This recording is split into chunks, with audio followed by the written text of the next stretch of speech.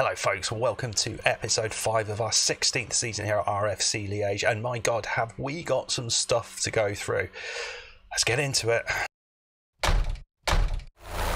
Right then, I, I do not even know where to start unpacking all of this stuff, but um, let's start with the, probably the biggest development, and this is in relation to our finances and relation to our playing staff. So you will see on the right of the screen there that uh, we have quite a lot of money in the bank. And you think, well, how the heck has that happened? Because we did, we actually, at the end of last year, uh, or end of last episode, we had about 2 million or maybe 1.5 million um, in the bank due to the, the, the, club putting some money in. But how the heck have we ended up with 9 million? Well, there is a reason for that. The, the reason we've got three, three and a half million in our transfer budget is because we have made some transfers. Some players have come in, some players have gone out. One player has gone out, particularly, which you might be surprised about, uh, but I think it was the right decision. I, I didn't have a choice, but it, I think it was the right decision. Right, so and you can sort of see here what has happened. So there was three transfers out. Um, there was a, a young lad who was not going to get anywhere, Jean-Francois Legarbi, who a really complicated spelling of his name, really not a very good player. Um, you need you need to be able to cross the ball to be a winger. So we let him go. We had uh, very nicely nice nice named club that uh, signed him up. I'm not going to try and pronounce that because it's just rude, is what it is. Um, Thierry has gone off uh, on loan to uh, Caen, and that's because he was just causing trouble. But so we've actually getting a bit of money from that. But you'll see between those two, Norful Nana has gone to China for 9.5 million pounds. It hit his release clause. Yeah, I mean, he's a great player, and obviously we are going to miss him. Uh, and obviously he's been a big important part of the, us staying in this division. So, but it does mean we have a bit of room to spend some money. And we did spend some money, and you can see we bought in two players. Um, for a little less than a million. This this guy probably I've overspent, but he is he is playing at Eupen, and I think he is a decent player. So you can see here, I'm I'm pretty pleased with this. This is an area we we are slightly weak. That just behind the the forward, and this guy for the money we paid, I think is pretty good. Um, he's we, we're playing him as an advanced playmaker, so you need him to have good passing, good technique, good vision, those sort of things, and he has all of those, particularly that technique of 18. So he's going to be able to do things, the really difficult things, really well. Um, and first touch as well, which is which is really good. So that's nice because uh, some of the first touches we've seen from our players have not been great physically you know he's a he's a solid specimen uh, across the board. You know, reasonable height. He's he's not going to be um, dominating in the in the air, but he's got a good jumping reach, and, and you know he's a reasonable header. So the, he's a, he's quite a quality player. He's he's only wants to be a squad player, but he's pretty much played most games. And you can see played nine games, scored two goals, one assist. That is not bad really for our level. I think that's pretty good. He um, obviously played for Eupen average rating a little better for them, but um, I'm pretty pleased with that. He's um, come through PSG's ranks, so that's kind of you know you can see the quality there. But pretty happy with that. A good, solid signing. And then obviously with Nana leaving, we were a bit short on the right side. So what I did was bring Uan Uan Julan uh, in, who is he's not as good as Nana, but he certainly is a decent player. A lot going on there. He's got he's got attributes um, in all the right areas, things that you'd want to see. Work rate again, a little bit low, and that's the case for a few of our players, unfortunately. But you know, good composure, good decisions. Um, he's quick and uh, he can cross and run with the ball. It's what you want, isn't it, for a for a winger? So uh, he's played uh, a few games for us and you can see nine games played, two goals, three assists. That's pretty good. A 6.9 average rating. So I think it's a pretty good replacement for uh, uh, for Nana, and it's certainly our biggest transfer window to uh, ever. So that, that's that's super cool. But that's a lot of money a lot of money coming out there. And what it has allowed us to do is to do a few things in the club. So I am able now to do my final coaches course. So that's I'm I'm I'm, I'm currently on doing that. And we were also able to improve our youth facilities. So that gets us up, I think, what we on average now. So I think that goes to good, perhaps. So that's really good.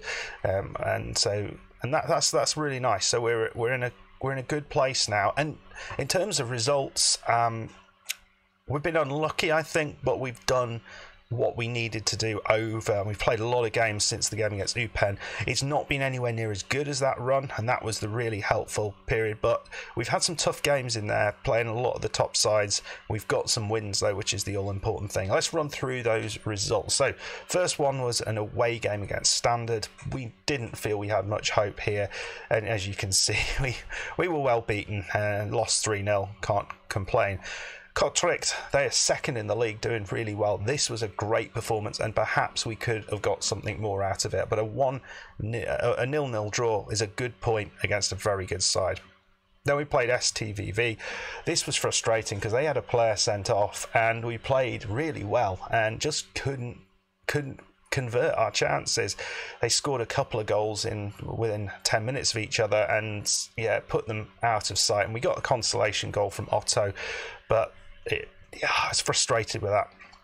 Follow that up with a uh, a loss against like, home against OHL. I expected a little bit more here. Goal from Van Herk. We were one all and conceded a late penalty. We seem to have conceded a few penalties recently, which is frustrating. Yet to, I don't think we've had actually had a penalty this season apart from in that penalty shootout. Um, then this was a cracking result away against Club Bruges. Van Herk with a goal, pleased with that, and followed that up with an magically crazy game against uh, Genk. We should have not lost this. We were ahead so many times, and uh, in the end, we lost 4 5. But goals from Julian or Julian, Ruba, and Van Herk. Uh, that was pretty good. Uh, but conceding five goals, it's not good enough. It would be nice. I think a draw, a point out of that would have been would have been really cool. Then away against Lierse, um, this was a bit of a mess. We lost one 0 early goal. They had a they had a player sent off. We had a player sent off. But we, to be fair, we were not we weren't in this. They Lierse have had a good season, and we we didn't uh, we didn't look like we were competing. The game against Union was one I was hoping that we would compete in, and we did. Van Herk and Ruba uh, getting the goals. You can see some of these new, people who've come in are really contributing to the, the, squad, so that's pretty cool. And then we've just played Anderlecht, lost three 0 yeah, what can I say? We, we didn't deserve much out of it, but we are having a little bit of an injury problems. You can see here we've got uh, Wapatale, Kare, and uh, Julian all out. We've had a few more out as well in those uh, in that in that area. So uh, we are going to have to put a little bit of a makeshift side out. Otto's not fully fit, um, so we're going to sort that out, and uh, we'll come back and hopefully play a bit of football. So this is where we are in the league, which I forgot to show. You can see we are currently in 15th. We are six points ahead of um, the team in 17th, and Waasland Beveren are the team directly behind us. So this is a game that we do. It would be kind of cool to get a victory over uh, over them. Uh, would put us, I think, in a good uh, good place to keep our, our place within this in this league. And with that money behind us for next season, is there a chance that we could um, kind of push on a little bit? Um, I'm hoping so. Right then, team we're going with, we've got Van Herk up top. We are going to be playing with Demo on the left side, Aruba and Kuhlman. That's going to be our attacking three, which is not quite the three that I would like, but we've got injuries and stuff to deal with. Uh, likes of Wapatale looks absolutely shattered. Uh, and Gerard, mm, Gerard, yeah, we'll put Gerard on there. I don't know. That's we'll go with that. Van Dam is going to be playing alongside Robert. Um, again, Van Dam playing because Jacques Watts he's not been playing that well. We're going to give Van Dam a shot in there. He's um, he's I mean he's a good player and we want to keep him happy. And then back line we've got Jewel, Geostathis, Jans, and Mayenga. Uh, with Fernandez is still in goal. Fernandez is an area, and let me know in the comments what you think. But I, he is an area that I I think we need to upgrade. That goalkeeper is a little bit of a liability. Right then, we got Rubois, and uh, yeah, he's the only one in the side uh, that you'll get to see. But uh, hopefully, he has a good game and maybe even gets on that score sheet. Let's go and get. Let's go and do it. All right, here we go. We've gone for the sort of avenged last time's lost team talk where we played. I think played really well against Waasland Beveren and didn't come away with the victory. This time, we need to uh, need to do better. We need to do better in front of goal still kind of figuring out the uh, the our goal scorers. Uh, that's something that needs to sort out. Cercle Bruges and um, Eupen are all playing away from home, so potentially this could go our way. We're on cautious. I don't really want to be on cautious. They've started well though. Right, corner to them. Ozan Seglinglig. I don't know who that is. That's a really hard one to say. Mulan. Go on, get the tackle. Get the tackle. We've not really started very well, and that's a poor ball over the top, and that's in. Is it offside? No, it isn't. It's Mulan getting the goal. It's um, again a, a, poor bit of defending. You shouldn't be beaten with a ball over the top like that. We'll just have another look at this. He's uh, Mulan plays it back, and uh, what happens here? It comes in on this right side. No one, no one watching him. Uh, I don't know who should probably have got that. Should uh, one of the centre backs perhaps should have been uh, a little bit more um, on it? Right, demand more. Need a little bit better than this. Another corner from. We've not seen a highlight yet. Oh wow, it's it's gone wide. Didn't see what happened there, but we we got away with that one and. Um, yeah, we need uh, we need to start playing. We have seen Cercle Bruges one 0 down, so that's that's good, and Eupen as well. Let's get let's not lose this game, at least. Well, it's half time. It it's not been particularly great. Um, I think one 0 is about the deserved scoreline. We're gonna have to make some changes, I think. So I'll do that, and then we'll come back and have a chat about what we have done. Right, here we go. We've gone more attacking. We're, we're trying to play a bit wider, um, focusing the play down the wings a little bit more. Um, hopefully, that's going to create a few more chances for Van Herk. Also, gone shoot on sight as well, so maybe we'll get a lucky shot from distance that fires in the back of the net. Oh, finally, looks like a highlight for us. Coleman. It comes in. It's Van Dam. Abel Jans. Looks like we're, we're sort of a little bit lacking in ideas here, but it's nicely done. Van Dam. Ball through to Coleman. Is there a chance just to beat the. No, it isn't. And we've uh, we've picked the ball back up, so it's not too bad at the minute. Mayenga down the right side into Coleman. He's going to be able to get the ball in. Into Robert. Ball in. It's Van Herk. Is that offside? It's offside, of course it is. No, no, no. I mean, it's it, it will be offside, um, but uh, it's just irritating. That is. Um, I, I don't think he's offside. he he was behind the defender, so I don't see how that works. Van Herk, ball in. They've cleared it out, but it comes to us. Robert Mayenga, you going to try a ball over the top? You have. Oh, they've saved it that time, but finally we look a little bit more on it. Aruba looks absolutely shattered now, so we'll make that change. Probably Gerard coming on, or maybe. I mean, yeah, he's not doing well either. We'll bring Gerard on in that position. Van Herk should have scored a goal there, absolutely. Well, we're going to see the corner. Uh, Gerard is on. Can he score straight off this corner?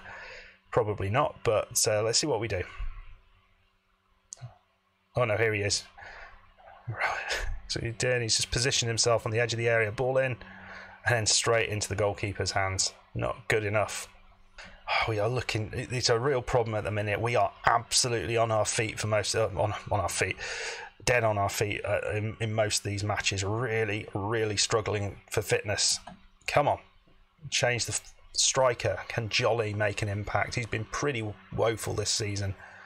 We just need a goal. Oh, 79 minutes on the clock. The defenders are, are shattered. I think we might have to make a change at the back. We'll bring on uh, Picard. Hopefully that gives us uh, enough to go in. Come on.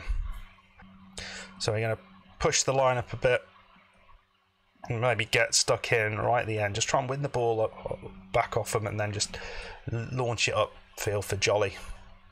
And that's it. 1 0 loss. Another disappointing result. Second half, much, much better than the first uh, for us. But um, yeah, injuries and um, fitness uh, are the problems at the minute and are starting to tell. Thankfully, it looks like both of the, the teams below us uh, have um, lost. So another game ticked off. This was one I was hoping to move forward with and get a victory, but we did not beat Waasland Beveren, uh, which is a game we should definitely have been winning. So as you can see, they are on 23 points like us. Uh, but Cercle Bruges, they got absolutely smashed, didn't they? Absolutely smashed. Jolly is 16 matches without a goal. Wow. Yeah, it hasn't worked, has it, with him? But um, yeah, so we're going to go forward. We've got a game, final game of the season, which is against Cercle Bruges, which could be a really, really important one. Hopefully, we will be more than three points ahead of them by then, but um, maybe not. Maybe not. Let's have a look at their end to the season because that could be quite interesting. They've had a real torrid time recently. They have not picked up anything. They've got a home game against Lierse, uh, away there's nothing too difficult apart from the um, the Anderlecht game. Uh, Mechelen at home, there's something there for them. Zulte Waregem away. There's, there's, there is stuff. They could they could get stuff here, and they are scoring goals. So, yeah, uh, conceding a lot, but they are scoring. Wow, look at these results. Absolutely terrible. They beat Club Bruges, though. That's an interesting one. It's a great start to the year for them, but uh, really has absolutely they've fallen to pieces. They really have, um, and they're not even bottom. Anyway, folks, I hope you have enjoyed that. Come back for the uh, undoubtedly it's going to be an important game. Bottom of the table, um, sorry, seventeenth in the table, Cercle Bruges. It might might mean an awful lot. it might be all down to this as to whether we drop into that uh, relegation playoff or not. So uh, yeah, make sure you come back for it. If you have enjoyed the series or and are enjoying it, please hit the like button. Please subscribe if you are new, and I'll see you in the next one. Goodbye.